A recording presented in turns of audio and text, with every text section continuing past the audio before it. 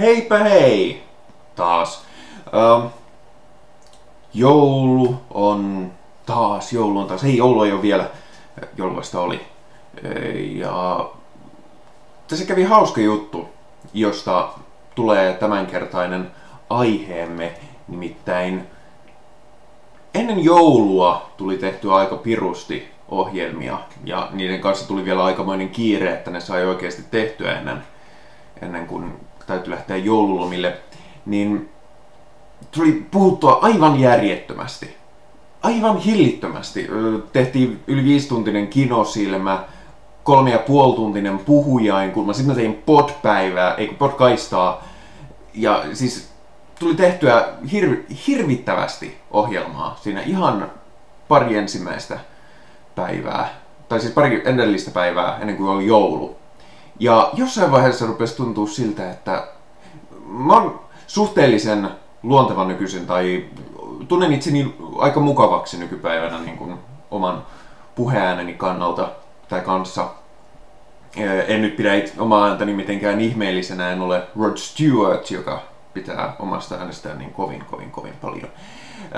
En ole siis sellainen, mutta sitä on tullut editoitua niin paljon ja tehtyä niin paljon, että mulla ei esimerkiksi ole enää sitä kognitiivista dissonanssia, mikä suurimmalla osalla ihmisillä on siitä, että kun ne kuulee oman äänensä nauhoitettuna, niin ne on silleen, että en minä tuolta kuulosta, en omiin korviin. Minusta mä kuulostan ihan samalta nauhalla, kun mä puhun nyt ja kuulen itseäni sitä kautta. Mutta se on tosiaan tullut aika pitkälti sen takia, kun on tullut hieman tehtyä näitä ja tullut editoitua omaa ääntä kuunnelma-ajoista lähtien, eli siis kohta 15 vuotta, niin siinä on hieman tottunut omaan ääneensä kyllä. Mutta joskus kun tulee tällaisia tilanteita, että tulee puhuttua hirvittävän paljon suhteellisen lyhyen ajan sisällä, niin jossain vaiheessa tulee silleen, että mä en kyllä jaksaisi enää kuunnella itteni, en sitten yhtään.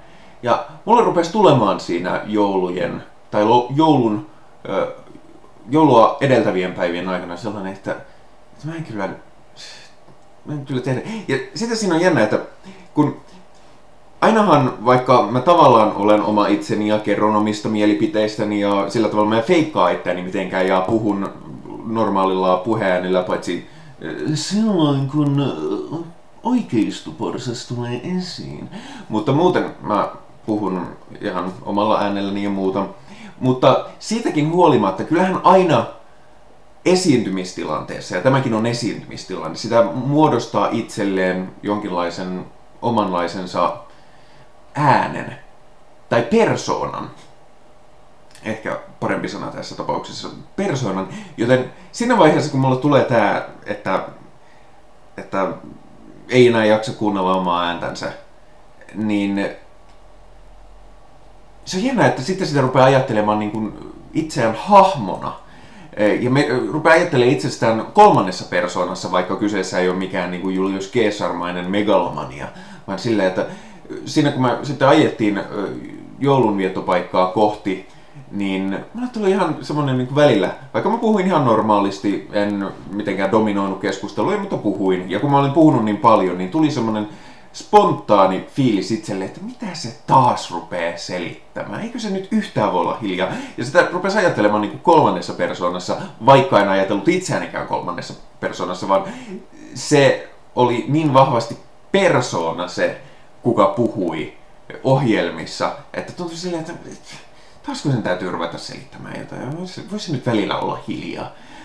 Ja no vielä vahvemmin se tulee just tosiaan vetää jotain roolia, ääninäyttelee tai sitten tekee oikeistoporsasta. Kuten jos olet lahjoittaja, ja lahjoittajahan kannattaa olla, niin olet saanut TomTom navigointiäänet ja siinä oli minun normaali ääneni, joka sanoo 200 metrin päästä käänny vasemmalle. Mutta siellä oli myöskin tosiaan oikeistoporsasi, joka aina oli kauhean kauhuissaan, jos käännettiin vasemmalle. Se oli sille 200 metrin päästä käänny vasemmalle. Ja sitten jos käännettiin oikealle, niin se oli heti kauhean innoissaan. 200 metrin päästä käänny oikealle.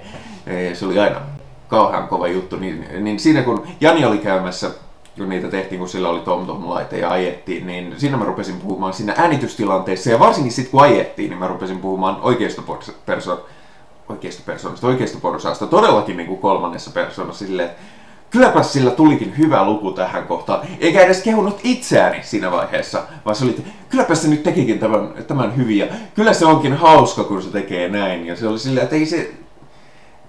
Tajusin vasta jälkeenpäin hieman nolostuneena, että jaa, taisinpa tuossa kehua kauheasti itseäni, mutta en mä osannut edes ajatella sitä silleen, vaan se oli oikeistoporsas, joka kehui itseään ja oikeistoporsashan voi kehua itseään ja en edes, oikeistoporsaskaan ei kehunut itseään niin kuin minä kehuin oikeistoporsasta, joten podcastaaminen voi joskus olla skitsofreenista hommaa, niin kuin olen nyt oppinut.